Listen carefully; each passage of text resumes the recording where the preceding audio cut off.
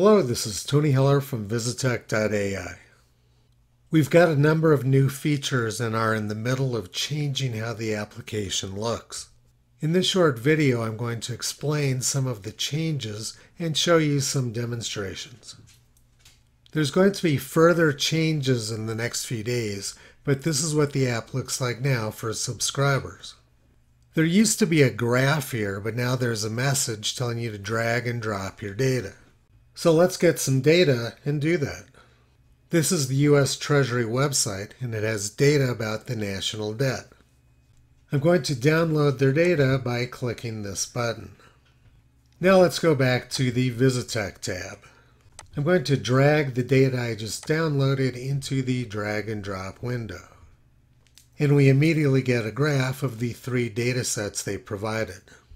The only graph I'm interested in is the total debt, so I'm going to X out the other two. I want to zoom in on the recent sharp rise in the national debt, so I'm going to right click and drag a rectangle around it. We can hover over any point to see the date and the national debt. I'm going to reset this and then do something different. The screen is reset and I'm going to click on the microphone button and speak my command. NVIDIA stock price. Now we have a graph of NVIDIA stock price. I'm going to zoom in on some of the recent action. Let's zoom in one more time. You can see that there's a candlestick chart and we can hover over any of these data points, see the date and the closing price. Now let's add another stock. AMD stock price. Let's zoom in on the recent activity. And let's zoom in again one more time. The top graph is AMD price and the bottom graph is NVIDIA price. We can also hover over the labels. Now we have NVIDIA highlighted in red and now we have AMD highlighted in red. You could repeat this and add as many stocks as you wanted, though the screen would get quite cluttered. Let's reset again and do something different. Now we're going to click on the Options tab and select a preloaded dataset, DC Crime 2025. Now we have a Google map showing all of the 21,583 crimes reported in Washington, D.C. this year. It's a Google map so you can zoom and pan if you want to look at one specific crime. Let's double click on this gun crime to see when it occurred. It was a robbery on January 26 and you can see the block where it occurred. Now let's use Google Street View to see exactly where the crime happened. And we can drag to pan around the neighborhood. Now let's click on the Table tab and do some analysis. One of the pieces of data which the police provide is the offense category. Let's issue a command. Group by offense and count the number of lines.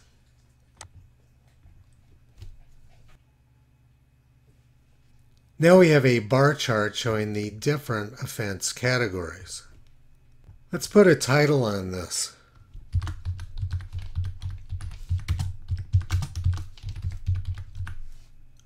We can take a screenshot to download a copy of the graph.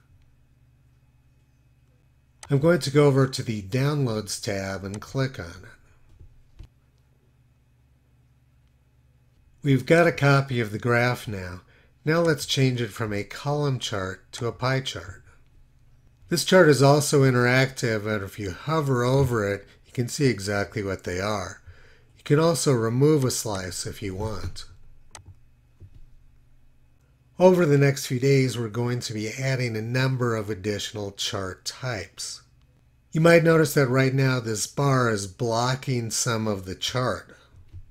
In the next few days, I'm going to move this bar up to the upper right. There's also going to be a nice menu bar on the left and a drop down on top hiding some of this stuff. Let's reset and do a different example. Arctic sea ice.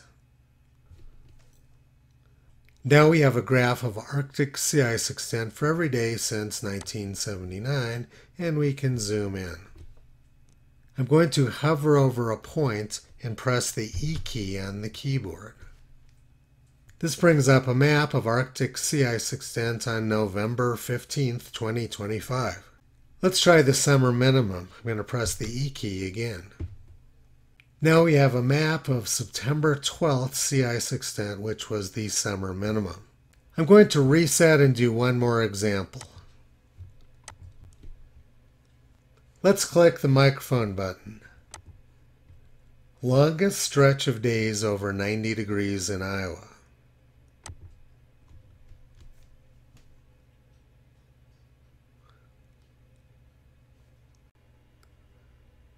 Can see that during 1936 there were 41 consecutive days over 90 degrees at Logan, Iowa.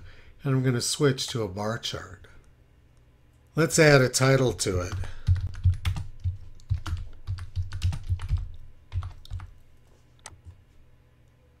And we can do other formatting from the Options tab.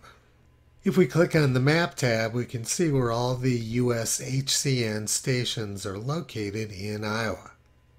If we hover over one of these lines and press the E key, we can see exactly where that thermometer is located. And you can use Google Street View to take a closer look at that neighborhood. In this short video, I've just barely scratched the surface of the capabilities of Visitech. It's designed to work with pretty much any type of data, but I had to pick a few specific examples for demonstration purposes. There are going to be further changes to the interface over the next few days. One of the important features which we're doing at Visitech is that we keep your data private. It is not uploaded to any other server. Your data always stays on your own machine. The data analysis is being done entirely on your computer. It is only using AI to interpret the questions, not analyze the data. We don't see your data at Visitech, and nobody else sees it either. If you upload your data to any AI program, you've lost your privacy, but Visitech doesn't do that. Your data never leaves your computer. Visitech is quite a bargain compared to the prices our competition is charging. If you're interested, visit us at visitech.ai.